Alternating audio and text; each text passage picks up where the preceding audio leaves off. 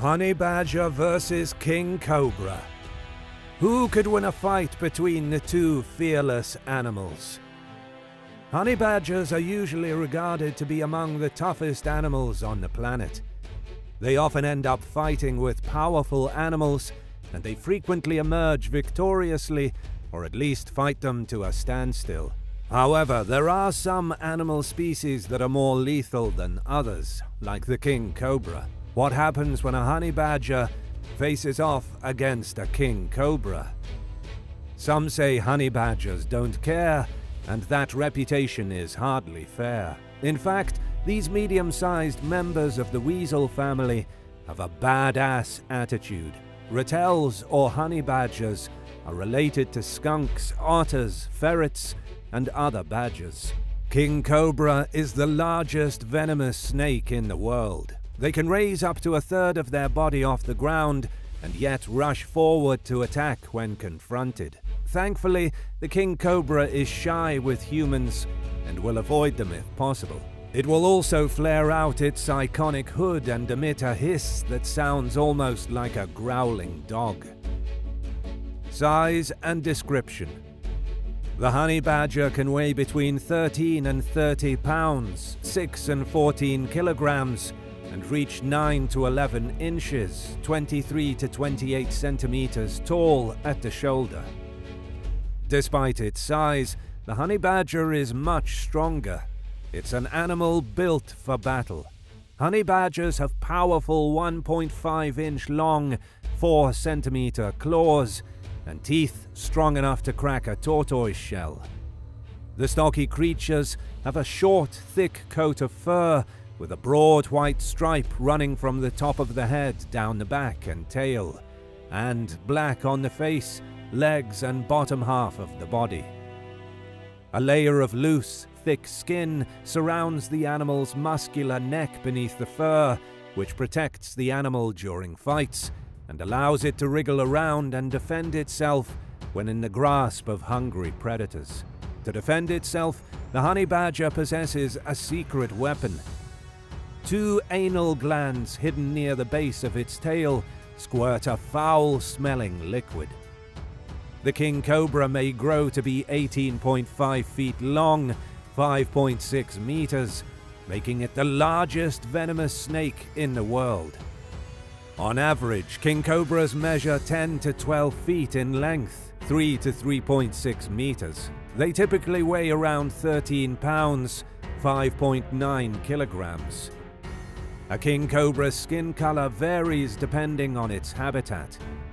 It has yellowish or white crossbars or chevrons on its skin, which can be yellow, green, brown, or black. The belly is light yellow or cream colored, while the throat is light yellow or cream colored. Like most cobras and mambas, the king cobra's threat display includes spreading its neck flap raising its head upright, puffing and hissing. Their deadly fangs are nearly 0.5 inches long, 1.27 centimeters. Range and habitat. Honey badgers are native to sub-Saharan Africa, the Middle East and India. These incredibly tough and hardy creatures adapt well to a variety of habitats and can live just as well in a rainforest as they can in the mountains. Honey badgers typically have large home ranges of about 193 square miles, 500 square kilometers. According to the South African National Biodiversity Institute, male honey badgers have larger territories than females, and their territories might overlap with female territories. Honey badgers don't sleep in the same place every night, preferring to build a new bed in a tree, a rock crevice, or hole dug into the ground. King cobras can be found in northern India, eastern China, including Hong Kong and Hainan, the Malay Peninsula, and western Indonesia and the Philippines. They prefer streams in dense or open forests, bamboo thickets, adjacent agricultural areas, and dense mangrove swamps. They frequently stay near streams where the temperature and humidity are stable. They spend over a quarter of their time in trees and bushes. Food habits. Ratels are omnivores, but have also been described as fierce carnivores. They are good hunters, foragers, and scavengers. Fish, birds, reptiles, particularly snakes, invertebrates, insects, fruit, and carrion are among the food they consume. Ratels have been known to chase young lions away from their kills and steal their food. A bite delivers venom from glands attached to the fangs.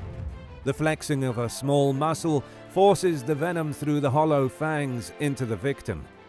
Neurotoxins quickly paralyze the neurological system of the prey, particularly the breathing impulses. The paralyzed victim begins to be digested by other toxins. The king cobra's diet consists primarily on cold-blooded animals, particularly snakes.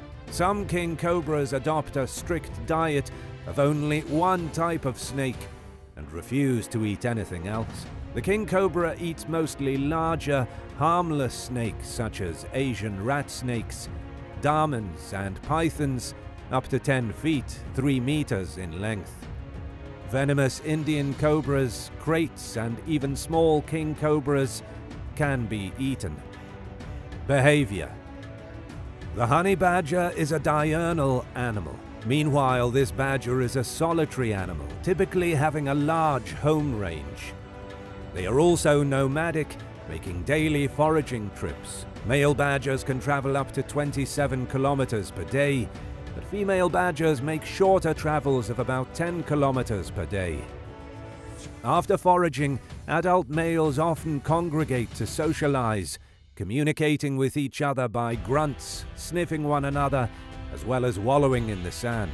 However, because honey badgers are known to be aggressive animals, these interactions between males can sometimes grow into fights when one of the males tries to enter another's burrow. They start their dominance dance with each one defending its right to the burrow. Though it has a reputation for being aggressive, this snake is actually shy. If it is at all possible, it would avoid people and other animals. It is classified as a solitary reptile. The group is known as a quiver when they are observed together during the breeding season. When trapped, it is more likely to attack people in self-defense or to protect its eggs. Nesting females, on the other hand, are more likely to strike without warning. The king cobra kills less than five people each year within its range. Its weapon? Venom. When a king cobra bites, venom is released from glands attached to the cobra's teeth. To impress a rival, male king cobras resort to wrestling. Male combat is a ritual conflict in which the first one to push the other's head to the ground wins. Now, in a battle between a honey badger and a king cobra, who would win? Honey badgers are going to kill a snake in a fight in just about every case. They live in Africa, where they must confront some of the world's most deadly snakes. Rather than avoiding them, honey badgers regularly eat snakes and go out of their way to kill them and eat. Honey badgers have evolved to be venom resistant and prey on snakes. King cobras are not like other cobras. While most cobras inject less venom, their venom is more potent. However, cobra-eating animals such as the mongoose are immune to the venom. Therefore, honey badgers can eat the king cobras. They are not, however, fully immune. They won't be able to fight if they have too much venom inside of them. Honey appears to be pretty much immune to most venoms, but the sheer volume delivered by Ophiophagus hannah could be a moot point. The honey badger is known for its sheer tenacity and speed. Even if the honey badger gets bitten, it would probably finish the snake off before the venom takes hold. After that, the honey badger would lie down, let the venom's effects wear off, and then finish eating its meal. This has been documented in several cases with the world's deadliest snakes, including the king cobra. Indeed, There is a possibility that the honey badger will die, but I think it is quite small. So in my opinion, the balance is in favour of the honey badger. That's all for today. Thank you so much for watching, and please don't forget to subscribe and hit the bell button. Until next time, farewell.